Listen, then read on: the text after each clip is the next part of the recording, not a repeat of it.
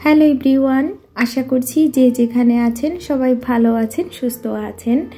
আমার কথা যদি জিজ্ঞেস করা হয়, তো আমি কিছুই বলতে পারব না। না আছি মন্দ, না আছি ভালো। কেমন এক অনুভূতির মধ্যে দিয়ে আমার সময়টা যাচ্ছে। পৃথিবীটা বড়ই অদ্ভুত। কেন যে মানুষের জীবনে আল্লাহ তালা এগুলো নিয়ে আসে আমি বুঝি না। দেশ ছেড়ে এসেছি প্রায় সাড়ে পাঁচ বছরের মতো এই প্রবাসের মাটিতেই দিন কাটাচ্ছি। তো এর মাঝে অনেক ভালো সময় কাটিয়েছি, অস্বীকার করব না। এমন এমন জিনিস দেখেছি যেগুলো জীবনে দেখতে পাইনি। অনেক অভিজ্ঞতা পেয়েছি, ভালো, মন্দ সব কিছু মিলে বলব আলহামদুলিল্লাহ। কিছু কিছু জিনিস আমাকে এত বেশি অবাক করে, আবার কিছু কিছু জিনিস সারা জীবন ভালো স্মৃতির খাতায় থাকবে, এরকম একটা বিষয়। তো আজকে আমি যে জায়গায় এসেছি, এটা হচ্ছে বান্তা এরিয়াতে হেলসিংকিতে না।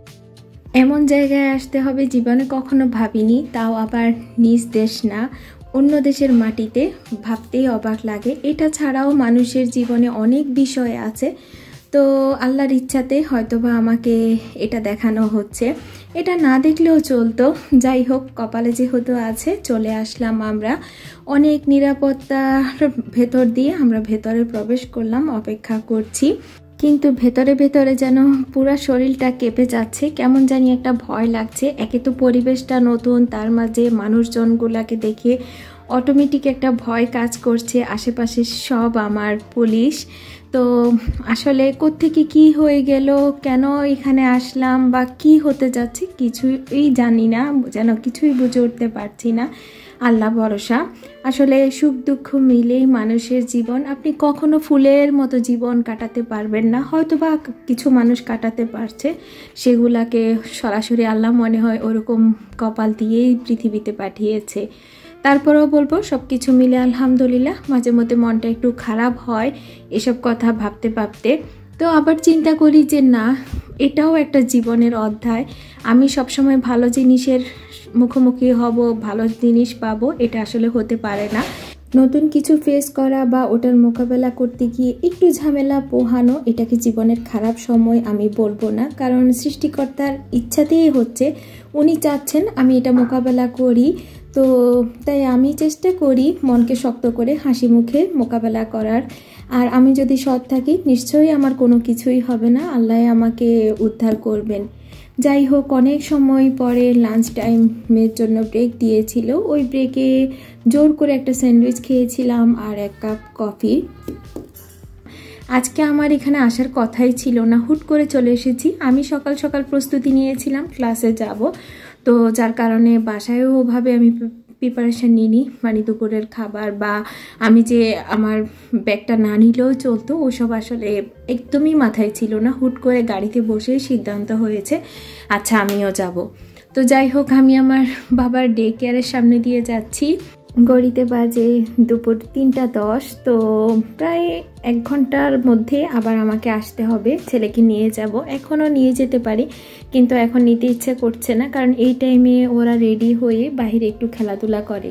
ওয়েদার এখনও প্লাস নাইন টেন যার কারণে বাহিরের ওয়েদারটা ভালো, ঘাসও সবুজ আছে।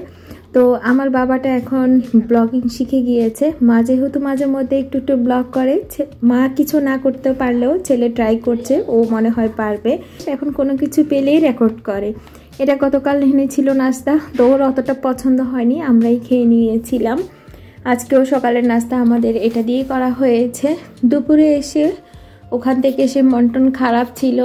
পরে কি আর করব? ভাত আমাদের আর খাওয়া হয়নি। ছেলেকে ডেকে আর থেকে আনার পর ওকে একটু স্যান্ডউইচ তৈরি করে দিয়েছি, ওটা একটু খেয়েছে। আর আমরা হালকা একটু বিকালে নাস্তা করেছি। তো রাতের জন্য আমি কি করব ভাবছি, একটু কারি আছে ফ্রিজে আমি যাচ্ছি না আসলে এই বেলাতে খাওয়াতে। আমি চাই কালকে এর জন্য ওটা থাকুক।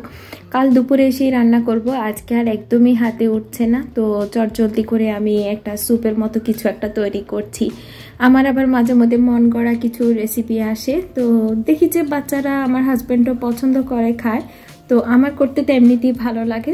তো ঝটপট আমি আজকে পাস্তা স্যুপটাই তৈরি করে নিচ্ছি। খুবই অল্প সময়ের মধ্যে এটা হয়ে যাবে। এখানে সবজি হিসেবে শুধুমাত্র গাজরটাই দিচ্ছি। গত সপ্তাহে গাজর এনেছিল, এত ফ্রেশ এত পরিমাণে, দামটাও অনেক কম ছিল। তো ওর বাবাকে আমিই বলে দিয়েছি, যখনই যে সবজিটার দামটা একটু কম থাকে, একটু বেশি করেই আনবা।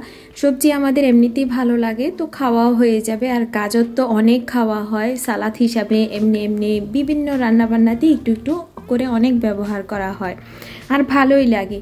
তো আমি একেবারে ছোট করে কেটে নিয়েছি। তো যার কারণে হতে একদমই সময় লাগবে না। আর যে পানিটা দিচ্ছি, এটা হচ্ছে যে আমি একটু চিকেনটাকে আগে সেদ্ধ করে নিয়েছিলাম। তো ওইটার একটু পানি, সেটা যতটুকু সম্ভব মশলা এড়িয়ে বাকি পানিটুকু দিয়ে দিলাম। আর চিকেনটা এখন দিচ্ছি না, একটু পরে দিব। যেহেতু ওইটা হাফ সেদ্ধ করা আছে। জন্য থ্যাংক ইউ সো মাচ